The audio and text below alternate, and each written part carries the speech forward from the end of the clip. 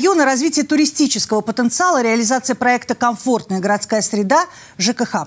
Это программа «Совет моего дома», а сегодня тема нашего разговора «Как живет и развивается Самарский район», какие проекты были реализованы в уходящем году и какие стратегические задачи стоят перед администрацией этого внутригородского района и власти в целом. Я представляю гостей в студии глава Самарского района Роман Александрович Радюков и заместитель председателя Думы городского округа Самара Сергей Владимирович Рязанов. Здравствуйте, уважаемые Здравствуйте. гости. Здравствуйте. Ну что же, Роман Александрович, исторический э, центр Самары заметно преобразился за последнее время. Давайте поговорим о том, как это стало возможно. Вот на территории района, я знаю, действует несколько программ по благоустройству. Это комфортная городская среда. Вот на что был направлен проект, что было сделано, проще говоря? Э, добрый день.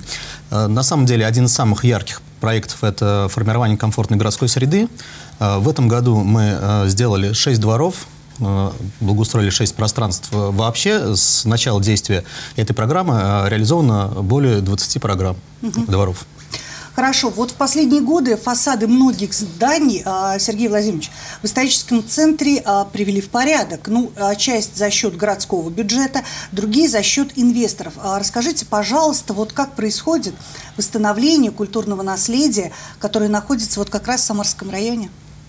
Да, у нас к 2018 году, вы знаете, основная часть а, зданий, все наши гостевые маршруты были приведены в порядок.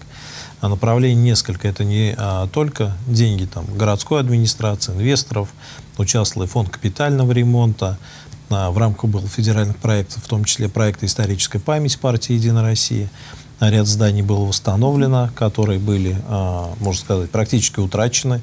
Это Кубишева 104. Мы знаем, это теперь молодежная такая площадка, а, дирижабль, где у нас а, именно она межвузовская площадка, где студенты могут заниматься и проходят регулярные концерты и спектакли.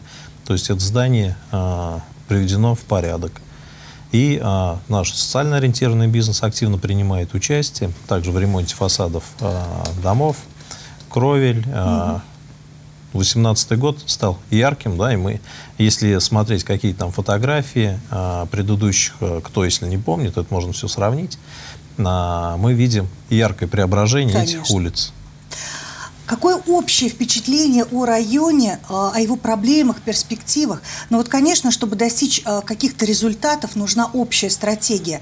Вот скажите, пожалуйста, мне и нашим уважаемым телезрителям, какие основные ваши цели и задачи как глава района? Основными целями э, является комфортное проживание жителей нашего района на, на- на нашей территории. Конечно же, это и социальное, и культурное, э, и экономическое развитие района, чтобы в будущем э, наш район э, был... ну, сейчас у нас э, такое яркое пятно на э, теле города, да, но чтобы он э, был самым ярким, самым красивым, самым запоминающимся как э, для наших жителей, так и для гостей э, столицы региона.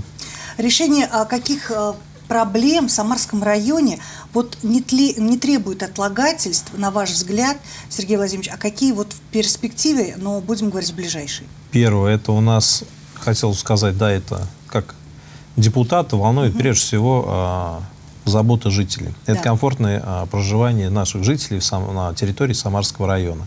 И а, хотел бы отметить, вот отрадно, а, жители стали принимать очень активное участие.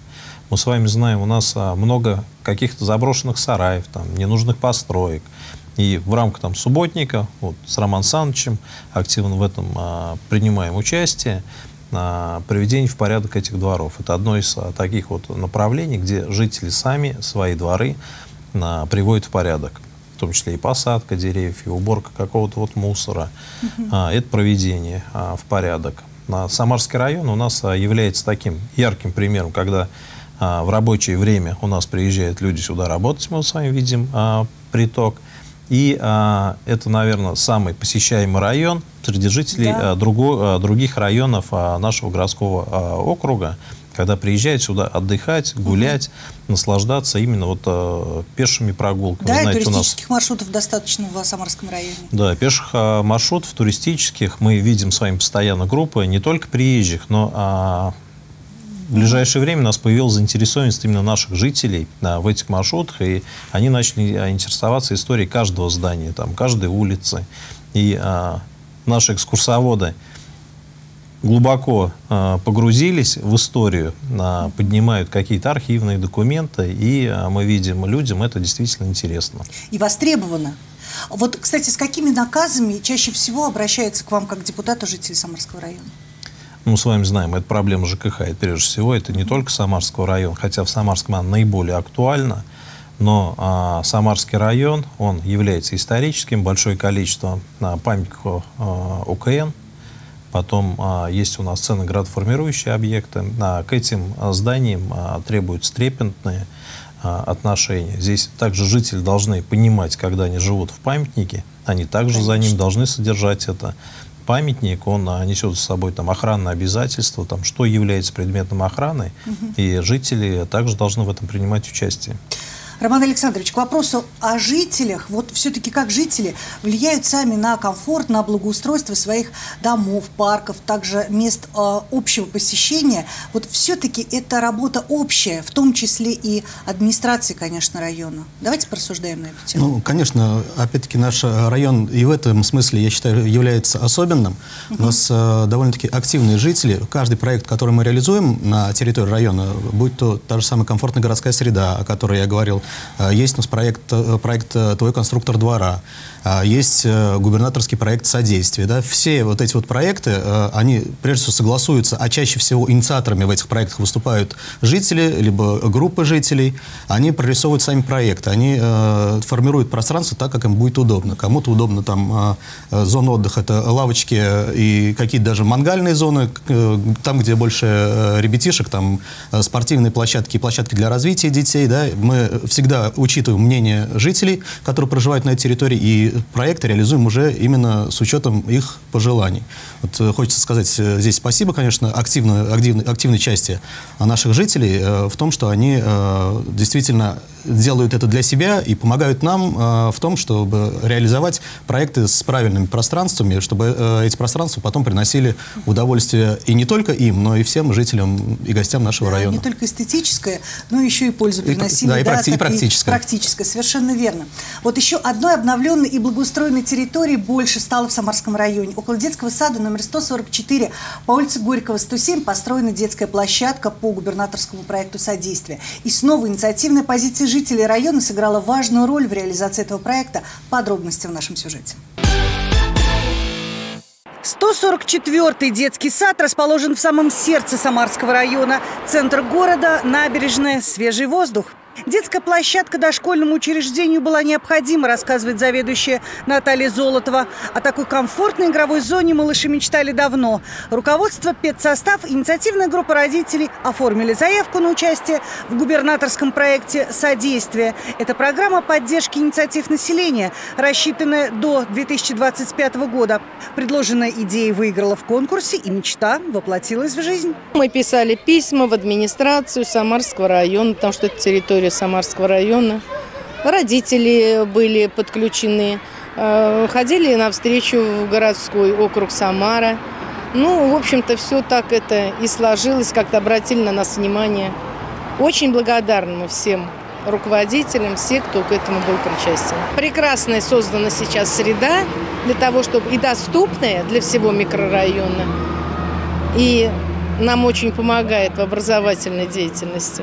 А пока взрослые делятся впечатлениями от результата и строят планы на будущее, малыши с восторгом осваивают новые горки, лесенки и качели. Дети теперь проводят досуг, как они того заслуживают.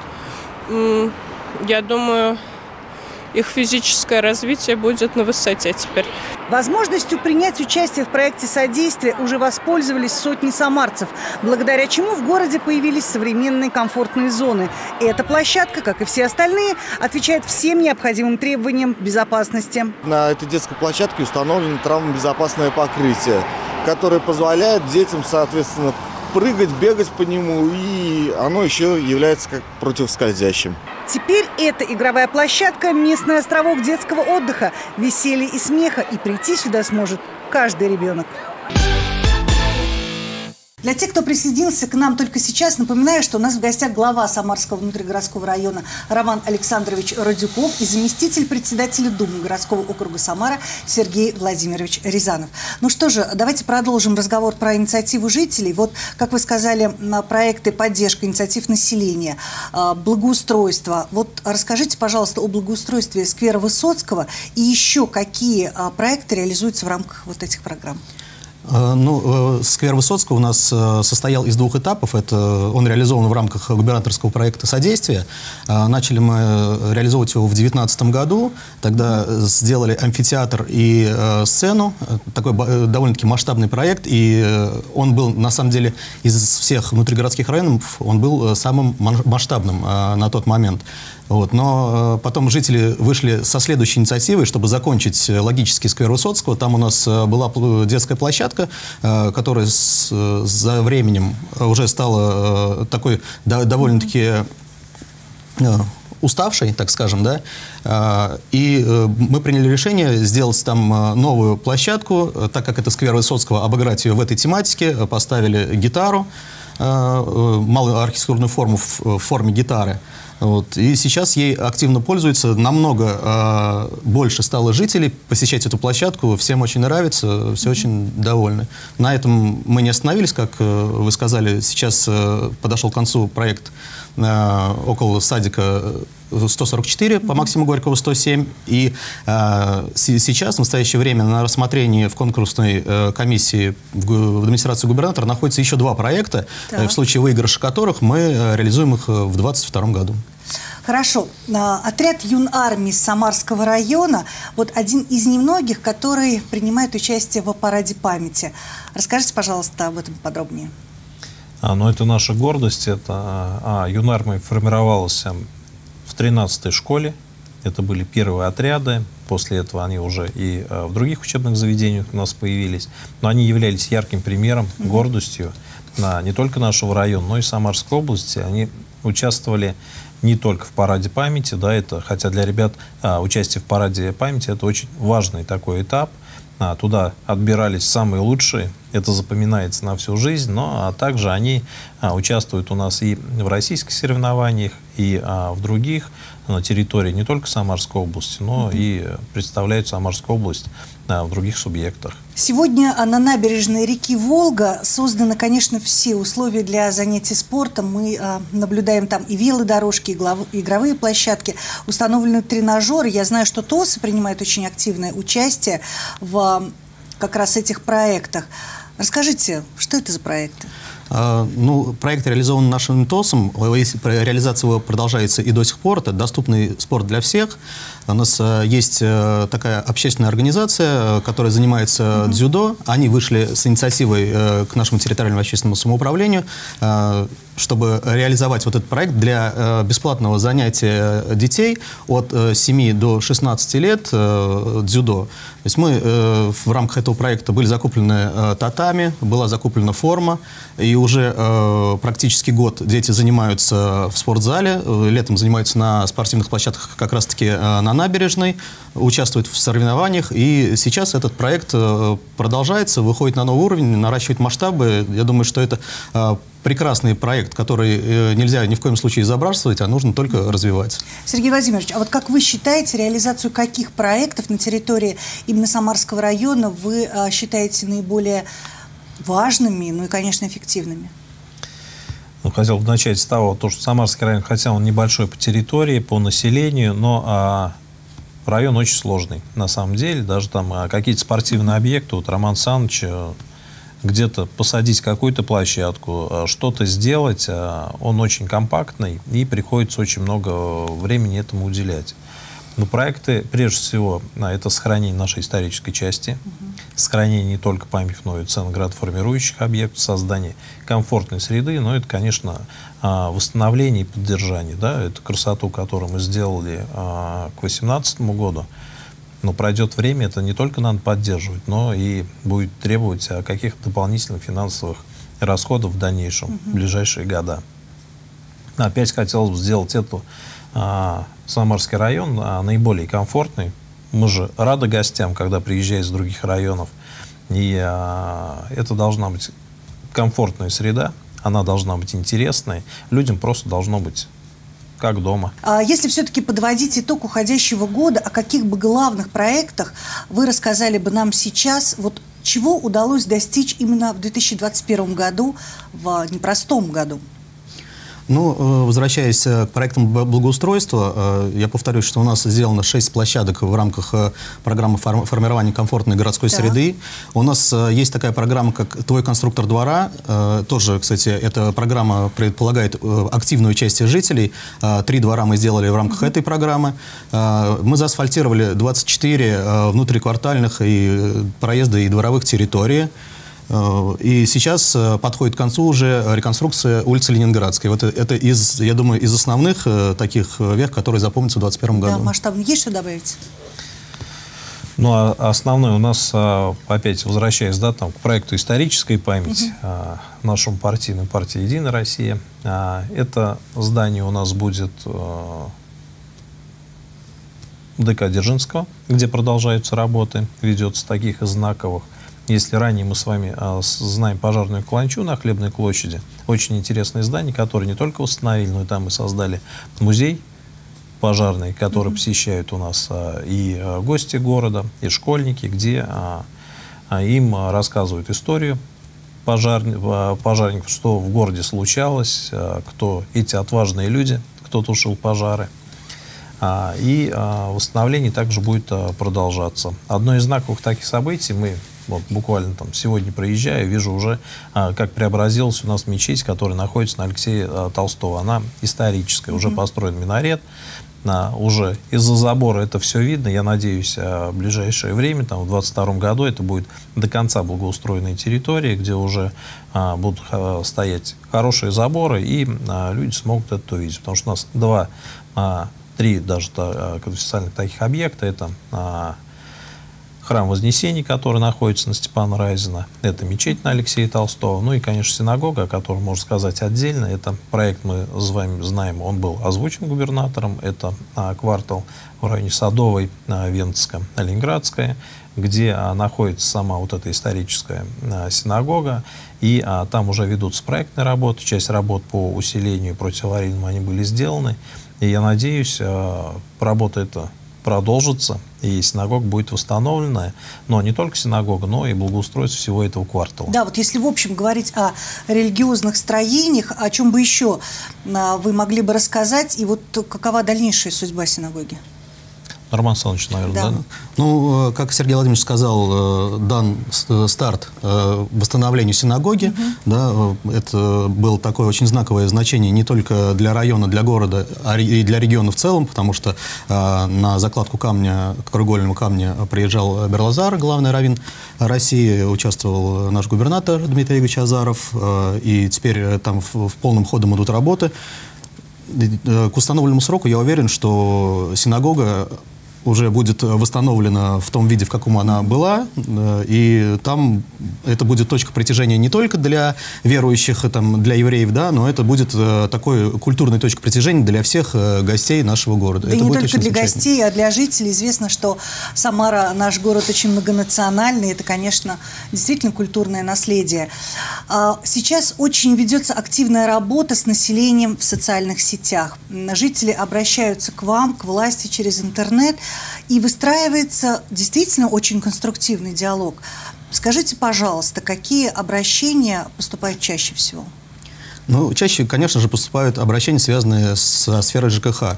Э, мы э, представлены во всех социальных сетях. Это и Твиттер, и Инстаграм, и ВКонтакте, и в Одноклассниках, и в Фейсбуке. Вот, и есть у нас еще такая э, площадка обратной связи, ПОС, да, где тоже поступают обращения от наших граждан. На все э, эти обращения э, мы стараемся оперативно реагировать.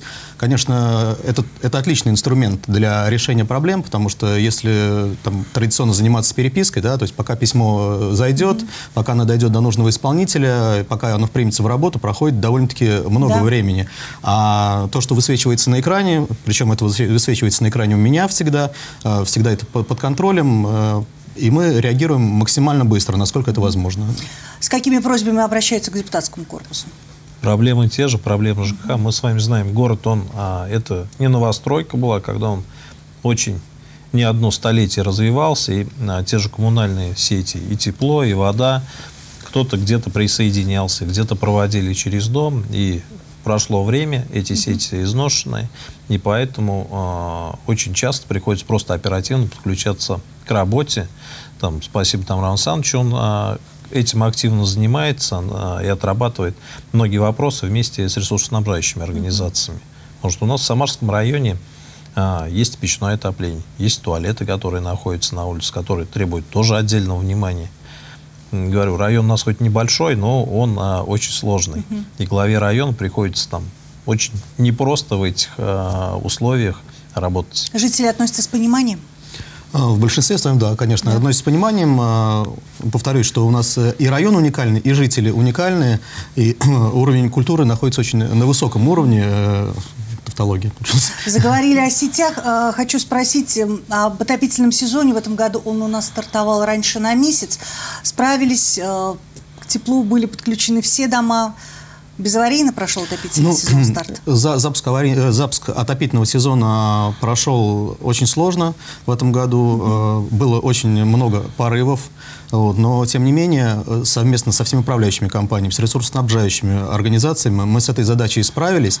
Запуск про проходит сложно традиционно в Самарском районе, да. и он запускается одним из последних, но опять-таки потому, что угу. очень ветхий и жилой фонд, очень изношенные сети, да, и когда опускается тепло по трубам, сразу появляются какие-то да, но, новые проблемы, Это, о которых можно никто сказать, не знал. живой организм, да, и поэтому...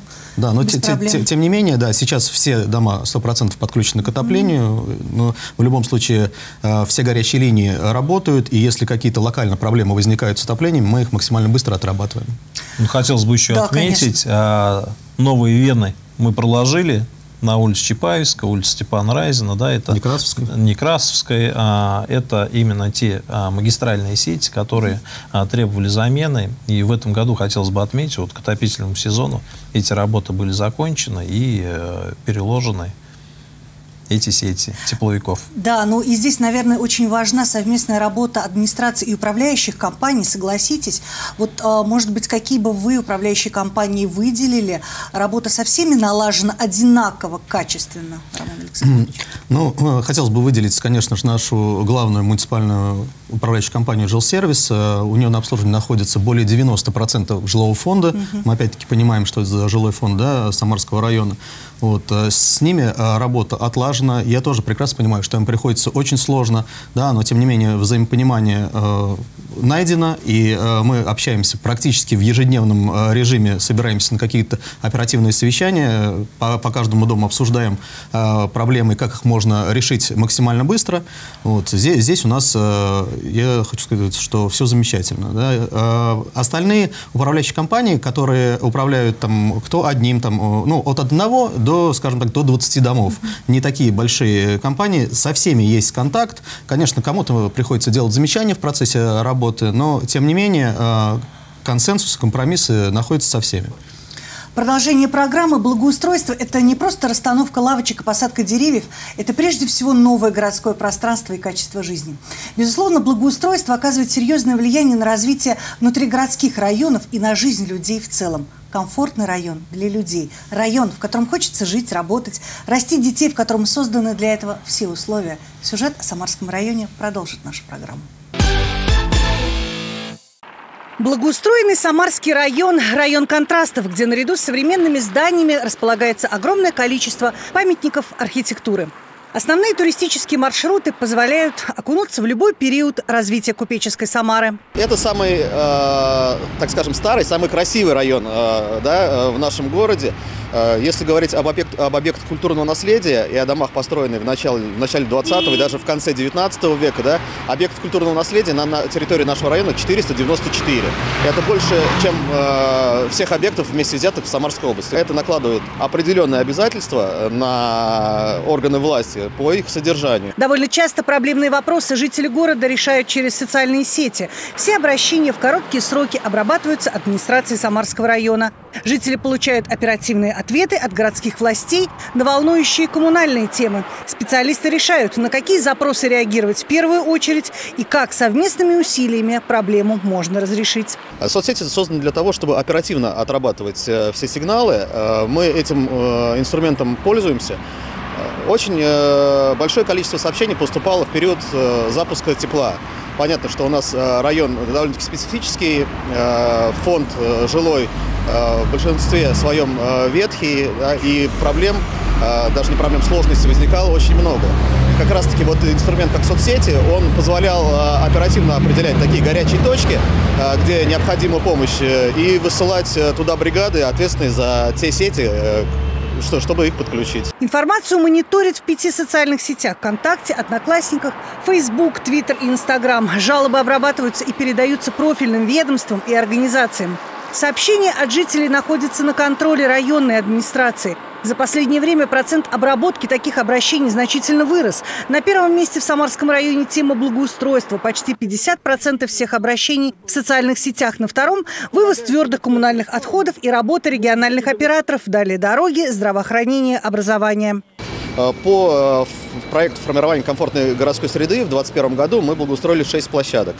А, также мы благоустроили площадку по губернаторскому проекту содействия. Это на улице Максима Горького, 107, э, около детского сада, о чем э, нас долго просили и воспитатели, и э, родители воспитанников.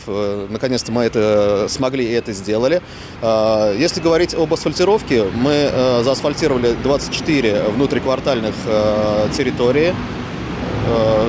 Также у нас есть проект «Твой, твой конструктор двора», по этой э, программе мы э, благоустроили три территории. Проблема обращения решения. Подобная схема особенно хорошо работает в социальных сетях, где взаимодействие между жителями города, представителями управляющих компаний, профильных департаментов и ведомств идет максимально плодотворно. Сергей Владимирович, если говорить о культурной жизни района, духовой оркестр под управлением Марка Когана, постоянные участники фестивалей всероссийского масштаба. Скажите, пожалуйста, какая поддержка оказывается коллективу?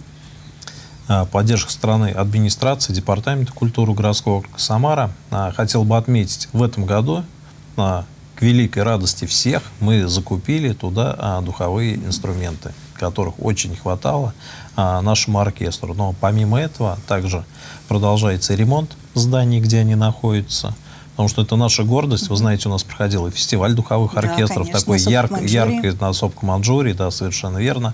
Такое яркое событие, которое прошло по улицам нашего города и потом на, на всех площадках а, территории городского округа Самара. Мы видим а, отклик населения, именно кто пришел туда, как к этому относились наши жители. И я считаю, это было яркое и замечательное событие. Это изюминка нашего города, этот оркестр.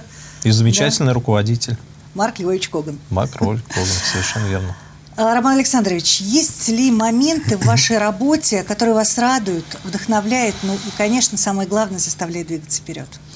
Ну, конечно, есть. И, опять-таки, уже не, не во второй раз даже да, повторюсь, что это активные жители, э, которые, э, во-первых, помогают в развитии района, в реализации всех наших проектов, э, которые не остаются безучастными в решении проблем.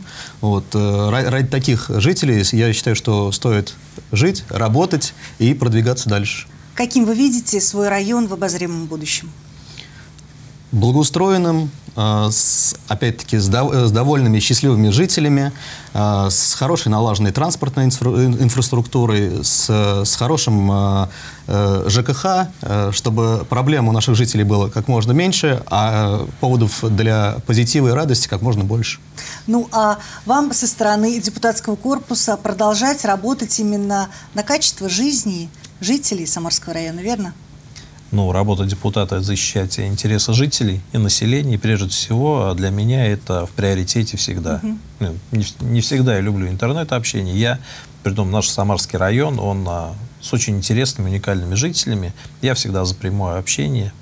А, проходит и прием у нас ежедневный а, депутатов, депутатов районных а, советов, депутатов а, городской думы, депутатов губернской думы а, проходит ежедневно, и жители могут обратиться в эту приемную с любыми вопросами. Но лично я всегда за прямое общение. Я очень люблю Самарский район, я очень люблю жителей а, Самарского района. Ну что же, спасибо вам большое за очень содержательную беседу. А в конце программы мне хотелось бы добавить, чем более открыта и доступна власть для населения, тем эффективнее она работает. Вы смотрели программу «Совет моего дома». Надеемся, что ответы, которые озвучили эксперты, были для вас исчерпывающими. Подписывайтесь на нашу группу ВКонтакте и направляйте туда свои вопросы. Отвечать на них будем в эфире программы. На этом все. Всего хорошего. До свидания.